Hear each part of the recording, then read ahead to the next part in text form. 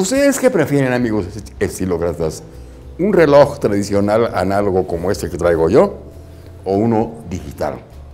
Hay diferencias, no, por, no en cuanto a ver la hora, porque la hora lo mismo lo da una que otra, pero hay ciertas diferencias que solamente los que, la, que, los que crearon estos relojes digitales las conocen y no nos las dan a conocer a nosotros. A nosotros simplemente nos las enseñan y si nos gusta el reloj, pues lo compramos o no lo compramos. Y, y nos gustaría que tengan ustedes más información al respecto, porque un estilócrata siempre debe saber de qué está hablando y de qué le están hablando.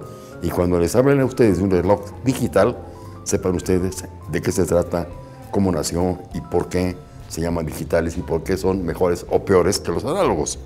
¿Les parece bien que escuchemos toda esta conversación?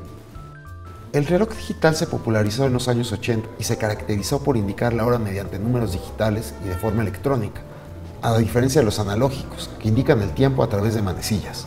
Pero antes de ir a la discusión sobre qué tipo de reloj es mejor, primero indaguemos al reloj digital.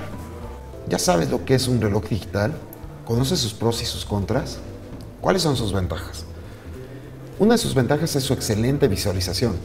La hora es visible en todo momento pues tiene una luz incorporada.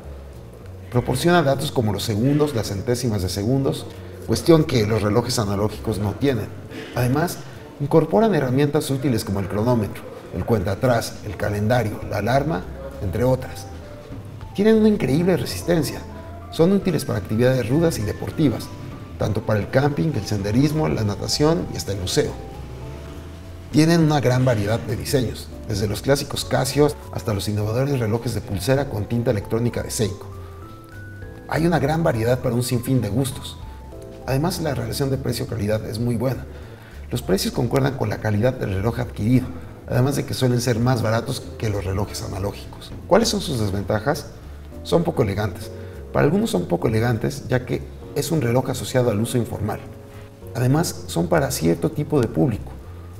Los relojes digitales son demandados mayormente por hombres que van de 7 a 35 años aunque la demanda por parte del público femenino joven también ha aumentado. Otra desventaja es que se descomponen con facilidad, a diferencia de los relojes analógicos.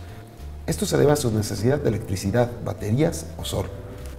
Otra desventaja es que muchas veces, por ser baratos, el material que regularmente se emplea para fabricarlos es malo. Muchas gracias amigos.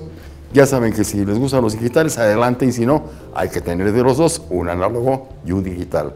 Muchísimas gracias por su atención. Les recuerdo que el estilo es algo que se aprende con el tiempo en el camino y nos vemos en la próxima. Muchas gracias.